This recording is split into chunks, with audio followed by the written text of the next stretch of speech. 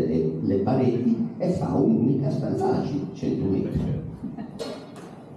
E si è ripagato, state tranquilli, abbondantemente il lavoro. Per prontezza d'animo.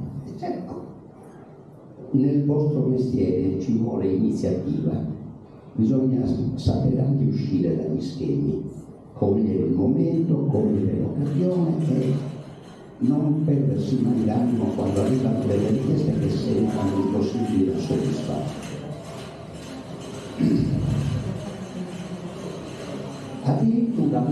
l'ESIT costruisce in proprio per sopperire alla mancanza di posti letto, costruisce in proprio una catena di alberghi.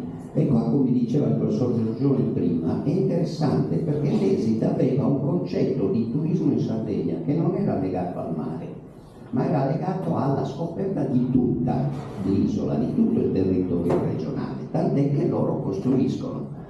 Eh, certo sul mare, Cagliari, Alghero, la Maddalena, Santa Teresa, però poi a Nuoro, l'hotel esito di Nuoro, sul Monte Ottovene, l'hotel di Tempio, c'è ancora, non è più esito, a Villa Ciro, a Tonara, a Santo Lussurgio, a Sopra, tutti i posti dell'interno della Sardegna.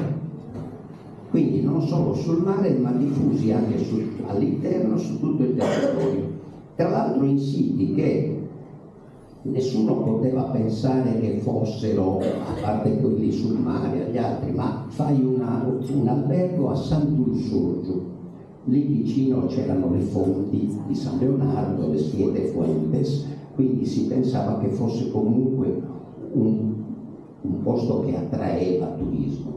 Oggi, oggi, se provi a fare questa, questa, proposta qui ti guardano un po' strani perché ormai ci siamo abituati all'idea che il, il, la vacanza si fa solo al mare. Questo è l'esito di tempi. E quindi veniamo a questo libro da cui è nato lo spunto per questa chiacchierata l'ha scritto questo signore Bruno Mura raccontando proprio negli anni 50-60 quando lui andava in giro assieme a degli altri, ora vediamo chi, che sono stati i primi, i precursori, come abbiamo detto prima, del turismo, cioè quelli che sono stati i primi non solo a, a pensare che costruire un albergo o costruire un ristorante poteva essere un affare, quando nessuno sapeva cosa fosse il turismo e non credeva che la gente andasse nei posti, ma soprattutto hanno avuto il merito di costruire queste cose in posti che nessuno avrebbe mai pensato che potessero attirare gente. Nella prefazione del libro dice che questi pionieri si muovevano tra una fiera e l'altra con le valigie piene di opuscoli, ma anche bottiglie di nepente, di cannonau, o forme di pecorino perché andavano e pubblicizzavano se stessi, contemporaneamente pubblicizzavano la Sardegna con le sue diversità, con il, con il, eh, con il vino, con il pecorino, con, con, questo loro modo anche molto artigianale, molto popolare, molto però spontaneo di stringere una mano o di, o di, con tanto coraggio e tante speranze. In Nepente lo conoscete? Ne approfitto per dire che il dottor Brigaglia fa anche delle lezioni in cui racconta di quando il Vate, D'Annunzio, conobbe il Nepente e si prese una colossale sbronza. Senza averlo. Anzi, qui c'è, qui c'è un mistero, perché te la racconto brevemente. D'Annunzio ci aveva 19 anni.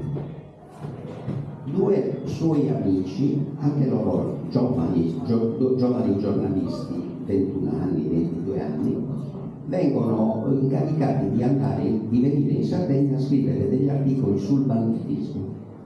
E mentre stanno andando alla stazione incontrano lui vestito di bianco che passeggiava lì nella strada di Roma, lo, in, lo eh, invitano sulla carrozza per andare alla stazione poi lo invitano a essere accompagnati fino a Civitavecchia per la nave e poi gli fanno il biglietto e se lo tornano appresso anche sulla nave. Questo qua, vestito con questo vestitino